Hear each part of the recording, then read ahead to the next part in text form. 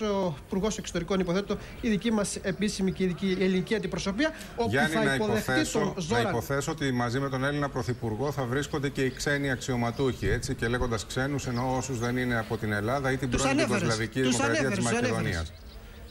Ναι, τους ανέφερες τους ξένους αξιωματούχους, Μάθιου Νίμιτς, Ιωάννης Χάν.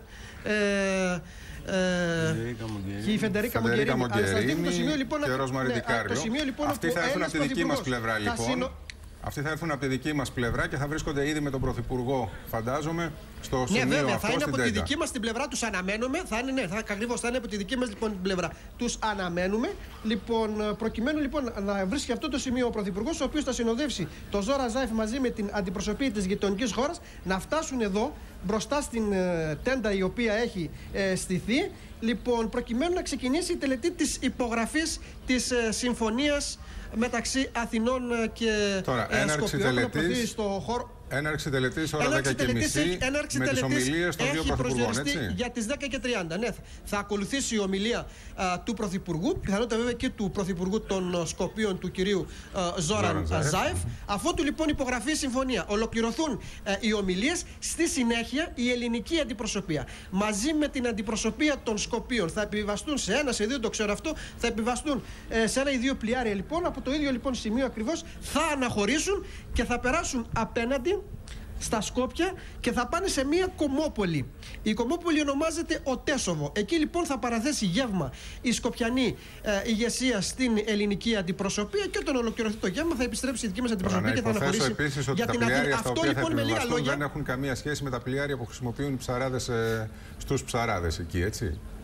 Ε, νομίζω πως όχι.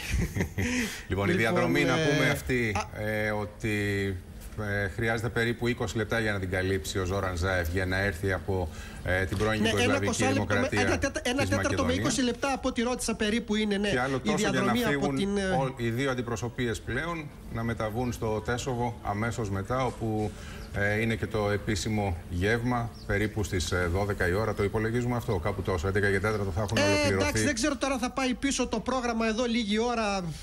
Θα το υπολογίσει εκεί μεταξύ 12 με 1 δηλαδή να έχουν ε, ή να βρίσκονται στην απέναντι πλευρά. Δεν ξέρω, αν τηρηθεί το πρόγραμμα είναι έτσι όπως ακριβώς το λες. Στη διαφορετική περίπτωση θα έχουμε πάει λίγο πίσω, αλλά αυτό συμβαίνει όταν έχουμε τέτοια γεγονότα και μάλιστα ένα γεγονός όπως το Ωραία, σημερινό, λοιπόν, το οποίο Γιάννη είναι Φασουλά, ιδιαίτερα ε, ξεχωριστό. κοντός ψαλμός Αλληλουία. Σε πολύ λίγο από τώρα θα συνδεθούμε Ακριβώς. και πάλι μαζί ε, για να παρακολουθήσουμε τις ε, αφήξεις ε, όλων των αντιπροσωπιών, οι οποίες αναμένονται στα επόμενα 10 με 15 λεπτά και 10 και μισή. Όπως και εσύ είπες, θα ξεκινήσει το τελετουργικό με τις ομιλίες και αμέσως μετά ομιλίες πρωθυπουργών και αμέσως μετά υπογραφή της ε, συμφωνίας για το μακεδονικό, για το ονοματολογικό της πρώην Ιουγκοσλαβική Δημοκρατίας της Μακεδονίας ε, από τους υπουργούς εξωτερικών ε, Αθήνας και Σκοπίων.